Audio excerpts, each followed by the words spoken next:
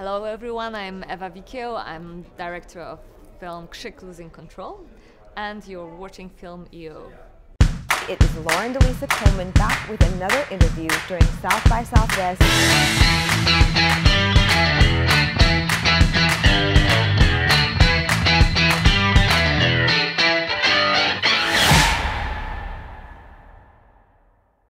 What is going on, everybody? It's Lauren DeLisa Coleman, still inside of the Film.io Filmmakers Lounge, right here at South by Southwest 2024, and we are about to get into an interesting interview because this is actually, even for myself, one of the first ever like grad student films that I think I've ever had the pleasure of like going inside of. So join me in this little journey right now. We are going to be learning all about losing control. I am fortunate enough to have with me the filmmaker and her DP, who are respectively from Poland and Germany, flew in for South by Southwest, managing the jet lag vibe and just like really making the rounds here at South by. And I am just so happy to be able to have you guys, right? So um, I want to hear like just all about, I guess, the part that the German um, Film and Television Academy uh, have kind of played in this, which is based in Berlin, how you like kind of devise the story, so much more. Let's start first, I guess, with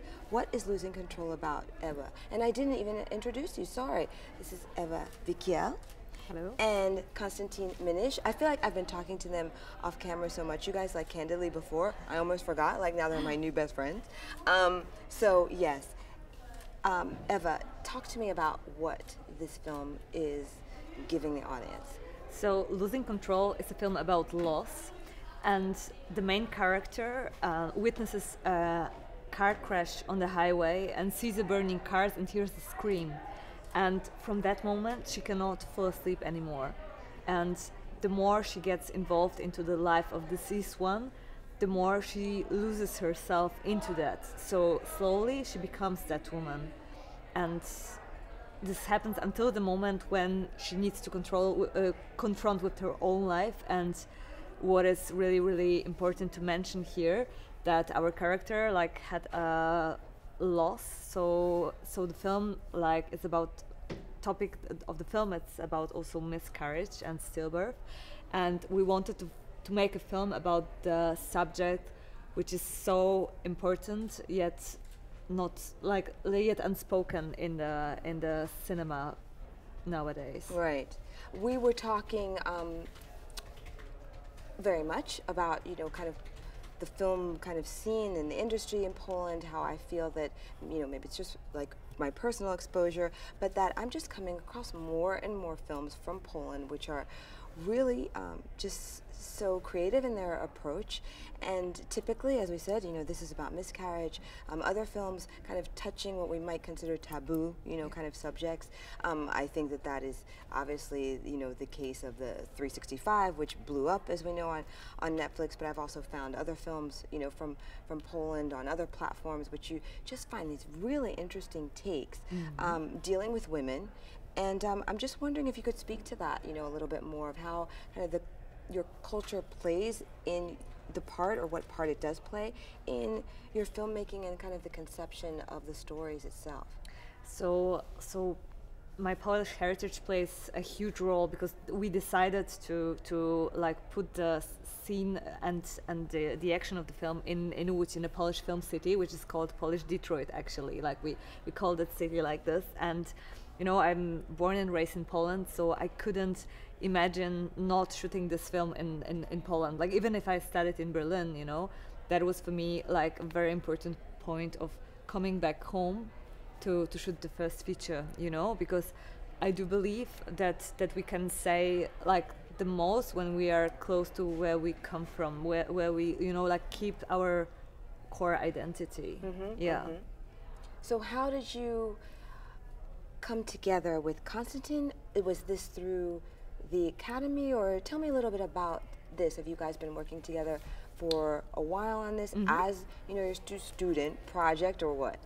So I'm, um, we we went to the same film school, and uh, we studied together there. And then along the years, we I don't know, we we haven't seen each other so often, and so I left school already then and uh, I think it was 2000, 2020, right? 2021. 2021 when you called me and you, said, um, "Listen, there's a, I have a, a screenplay. You might be interested in that because you Ewa knew what films I like and Yeah. what kind of cinema um, I appreciate." And so I read it, and this was um, I said, "Okay, let's do it immediately." So it was really like um, when I just the pitch deck was um, was really was really uh, breathtaking, and I thought, "Okay, let's do that together." Yeah. and it was already the funding was already there and um, but it was still uh, it was covid so um, the project was postponed and so it was it was really hard to uh, actually start with the with the shooting and uh, yeah. So once you did start, how long did it take you to be able to shoot? So once we started, it was like 27 shooting days in Poland and three shooting days in Germany, and so it was six uh, six weeks altogether. Okay. And it was like an amazing journey, really. Like you know, like to wake up every day and go to the film set. And I can tell we were shooting like basically in, in Poland, in, in Łódź, in this Polish film city. And what what was so special about it, we shot in one place in four time zones. So you know, like in Eastern European time zone, New York time zone, um, Pacific time zone, because of the like different hours of starting the film set. And we have a lot of like you'll see in our film there are a lot of like night scenes because we wanted to set film, you know, on the highway in this dark um, scenography. Yeah. How interesting. So now tell me, is this the culmination of your studies at the film school? And it's, you know, you say a grad student project, right? So is this like the only way that you get to graduate if you finish this, this film and that this is what it is? Or tell me a little bit about more of your experience and the part that the Institute plays, you know, in this. Because I know, of course, um, everywhere except seemingly the United States, there is a lot of government support of filmmaking, and so does that play into the you know the academy itself as well, the film school? What's kind of the dynamics, I guess I would say, behind this? like absolutely. Like in in our german film and television academy like free graduates are able to like to finish the film school with the full length uh, film and we were one of them so we were l- lucky to to get this funding Okay. and um, you know so so it was it was it was very special and and we didn't feel like it's a student movie at all. Not n- yeah exactly. So and we also said uh, when we when we do that film um, no one cares about um, the money how much uh, money you have. So we said okay we need to really uh, we want to push and we want to make the, uh, a film for the big screen. Yeah. and so the the production value of that film uh, is looking way more uh, is higher than it um, Well, I saw some of the stills, and I was like, "This doesn't look like Yeah. well, what is a student film supposed to look Yeah, like?" But yeah. this this doesn't look like maybe what would one would think a stereotypical Yeah. um, kind of view of a student film to be. And I mean, it's it's also um, unfortunately our producer uh, Ibrahim Utku Erdogan. He's not able to come here. So, um, but he he helped us with that film a lot, and he uh, he managed to give us this opportunity to do what we want. yeah But I think that's probably a lot um, to your credit as well, right, Konstantin? Yeah. As a DP, Yeah, that it yeah. looks if it looks like Yeah. hot, then it's you And- can say that. Yeah. Yes, it's all it's all me. You can say that. So um, uh, what's really interesting is, um, I mean, with this, uh, with our film school, um, I mean, the budget was very low, and we had so many locations in that film, and it's a film that is not easy to make without money. So, and then in addition to that, the film takes place in Poland. Yeah. So that means uh, it's also like the the whole um, the the crew is going to Poland, we, and we shot there, and. Um, what's interesting with that is uh, we only brought a couple of people from, from Germany to Poland, so we had a mixed crew, and the crew uh, we were wo- working in, in Poland was incredible. And this is, I think, that film we would never be able to shoot that film in Germany Yeah. for that. Uh, for, I mean, because the people were so helpful, and uh, it was after that. I mean, uh, with the people we worked on that film, we are still working. So uh, it's kind of a, we always say it's a Krzyk family. So Krzyk is the the Polish title of the of the film, and it's like a Krzyk family. And um, also our uh, set designer and uh, costume designer uh, are also here on the Yeah. festival. And um, So I think it's obviously a testament to the, the quality of the film that you were here at South by. Yes. How did that come about? Were you already familiar with the festival, and then you said, okay, we're going to submit the film? I'm, I'm really curious about that. So I can say I remember the December night when we got the email confirmation that we are uh, invited here, and I remember I was so excited I couldn't I couldn't fall asleep that night, um, and uh, you know it's such a big chance for us to be with the film, and And this is the first time both of you have been at South by, Yes. right? Yeah, exactly. exactly exactly. and you know like uh, so we were we were super excited and thankful in that moment and because we we both want to shoot film like next films in uh, in America so so for, for us it's like like hopefully like a, A door good launch open. pad. exactly exactly Yeah, I mean, I was in um, in pre-production for another feature film in Colombia, and I got that email there, and I was really, I was, I was blown away by that. And then um, this feature film should, um, we should shoot right now at the moment. So, but it got it got postponed to October. So for me now, it was the I had the chance actually to come here, and for me it's uh, it was always it was a perfect dream. timing. It, it was a perfect, like, lucky coincidence somehow. But for me, it was really uh, always a dream to to have a film here in the United States uh, in South by to show it to the to that audience, and because my my one of my biggest um, inspirations uh, are the films where I grew up with, and that is like 80s, 90s Hollywood cinema. I mean, there's of course like a lot of more, but uh, this these are the films where I grew up with, and I always that inspired me in terms of the aesthetic and um, everything. So I'm really I'm really happy that we can that we're here and showing it. um, That's so great, and I'm so glad that you guys are looking to do, you know, more projects here in the, the U.S. and more. And I, I guess it's going to be like maybe ideal for you know platforms such as our sponsor Film.io to be able to support filmmakers like you guys, especially you know right out of the academy, looking to be able to do new things, uh, bring together teams in a new you know kind of territory, new to you for the U.S. Like that's what it's you know kind of all about, right?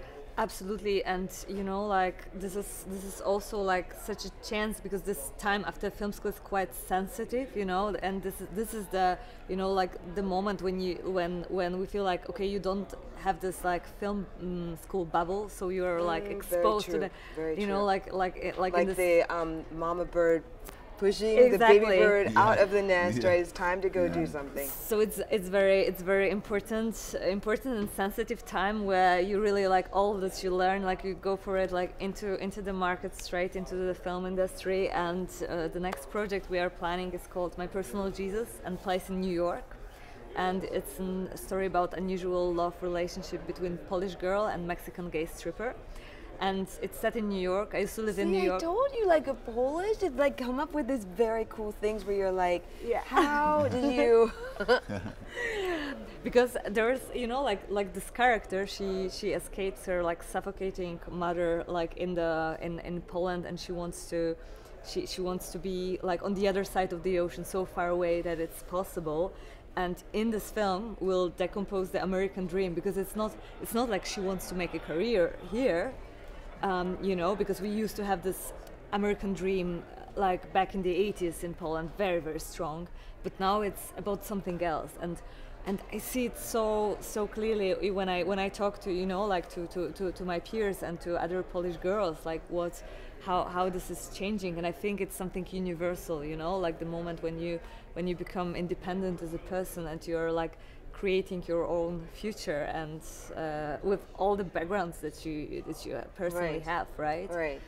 So interesting. Well, best of luck on it. Thank you. You guys, I hope you have a great time here at South by and in everything that you do, you know, in your next like kind of level. Um, and really, anything else you want to add before we close up? Is there Yeah, maybe um, maybe one thing about the film um, because uh, this film, this topic of, of that film. I mean, the film has a message, Yeah. and that um, for for us, it, it's like really important that um, that uh, film uh, is shown here in the states and um, I mean everywhere because this this topic is about um, how you uh, handle like a trauma Yeah. and like a stillbirth or a miscarriage because I mean so many so many friends of us um, around are having that yeah and uh, are experiencing that and this is something it's not easy to talk about that but that film um, i mean it should motivate um, everyone like to to, spread have- the maybe have word, that to conversation, exactly or with to friends feel and, open. and not be afraid of um, of that exactly. telling that exactly and also you know like just to that's i do believe that it's like power of cinema you know that people like people have this collective experience by going to the cinema seeing something and it happened to us at the test screening that many women approach us and uh, were very touched and like well like yeah from from our test audience and wanted to tell more about their stories. And i feel i feel like this is so powerful and that's why that's why we are here and we want to share our film you know with Right. the audience and with with uh, with the world yeah. Right. Well, you guys, I just wish you continued success and thank you for stopping thank you by. thank you thank you so and I much hope the jet lag smooth is, smooths out a little it bit. does um, and you guys definitely stay tuned for the very next interview. We have way more coming up. This has been Lauren DeLisa Coleman for the official Film.io Filmmakers Lounge right here at South by Southwest 2024.